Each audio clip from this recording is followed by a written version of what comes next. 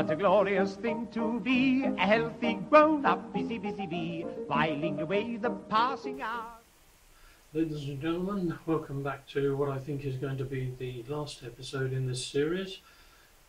And uh, I hope you're going to enjoy it. It's the point where uh, everything comes together.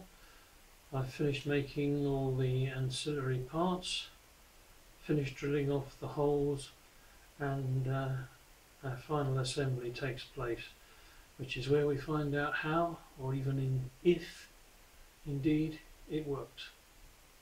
Hope you enjoy it.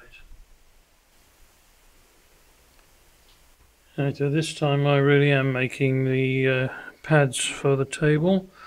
Um, I have a piece of 12 mil brass stock in the chuck.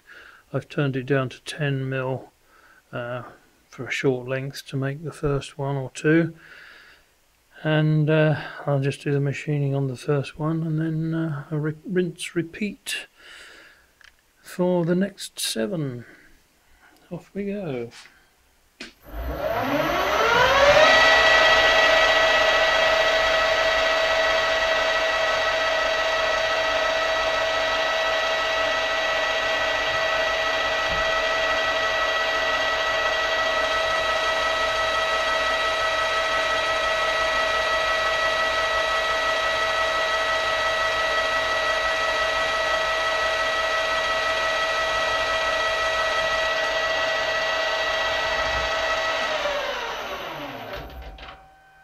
That's two mil off the diameter. Just check that with the mic, just to be on the safe side. Uh, fraction over that actually, so that's uh, 7.95 diameter. So we want to go down, uh, well, take it down another two.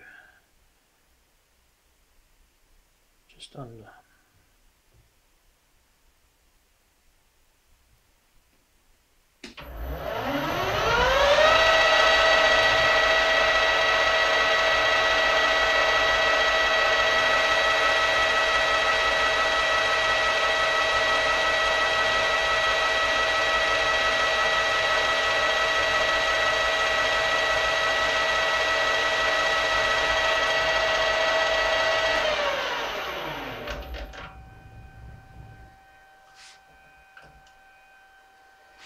Check again.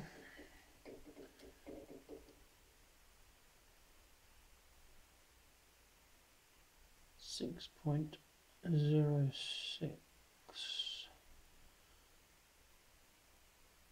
I think that's probably close enough for a good push fit.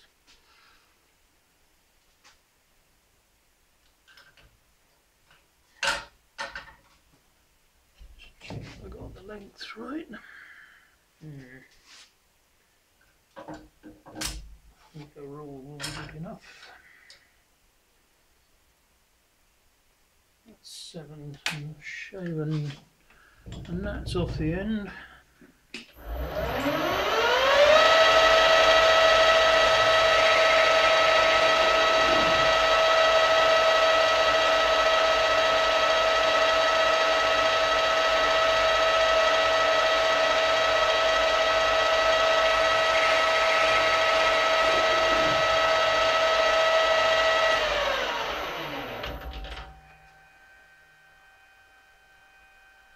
Six, nearest damn it.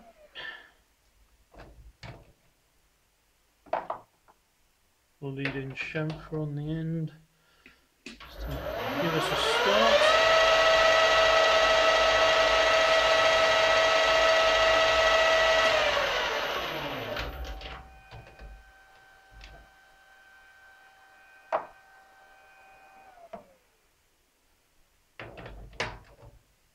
Parting off tool. Six, that needs to be one mil deep. So there's enough room to clean it up afterwards. Let's make that two.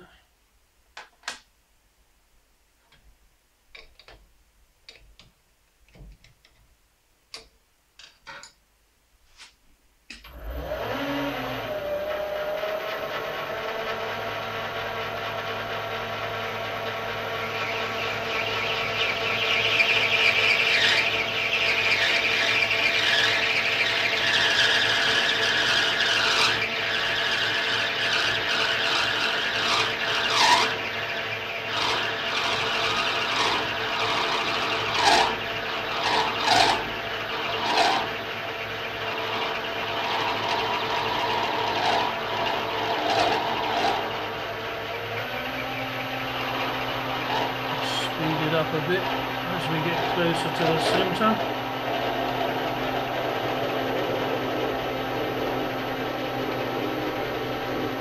This will inevitably leave a uh, pit on the end.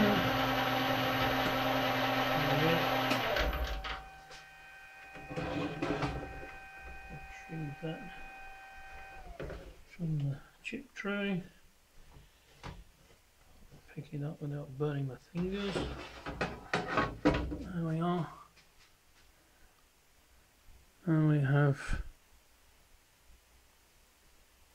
one pad. I'll reverse that in the uh, ER11 collet in the chuck at a later stage. Remove the pit, finish it to length, and just put a slight chamfer on the on the top edge. And like I say, rinse and repeat seven times. Okay, so back at the workbench, and I've uh, got all the support pads made.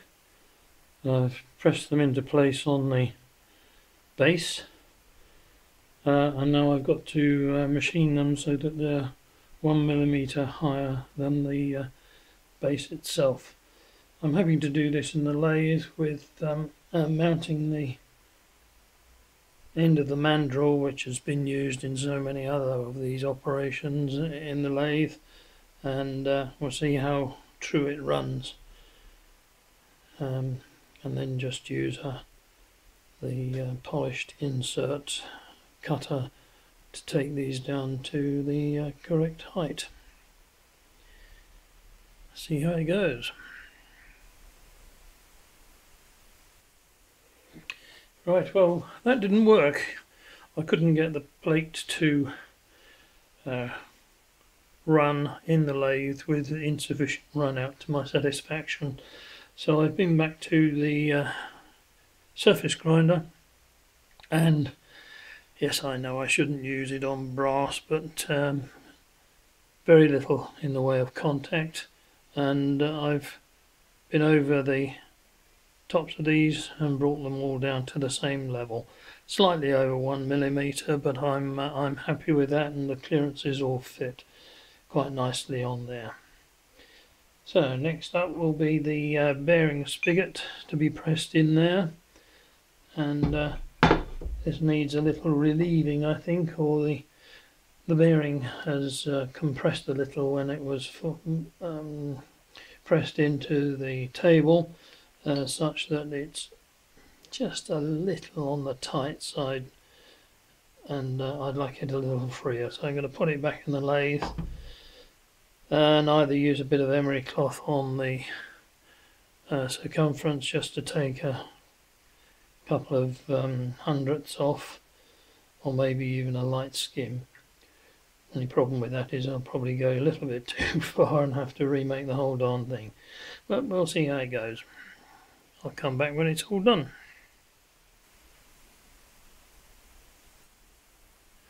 As you join me over at the mill where I've got the uh, completed rotary table assembly uh, sitting on top of the vise just for a quick demonstration. Um, let us say for example we want to turn the table clockwise by uh, 27 degrees the table, the locating pin is um, in the zero hole so that the center line is on zero. Remove the pin, rotate the table by 10, 20 degrees, and then a further 7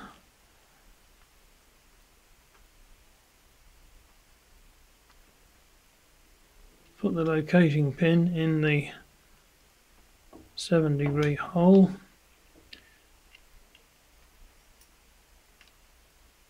Lock the table. I won't do it too hard. And we now have the table locked at 27 degrees. Obviously um, it can go the other way, but there's a certain amount of um, maths required to uh, get the required divisions. And there we are. that's all finished. Um, the next video I hope will be um, another one in my workshop tools series. I haven't done one of those for a long time and I think I will probably do the uh, travelling steady and possibly with somebody or something else, but uh, we'll see how that goes. Anyway, this one's finished, and if you have been, thanks for watching, and I'll catch you next time. Goodbye.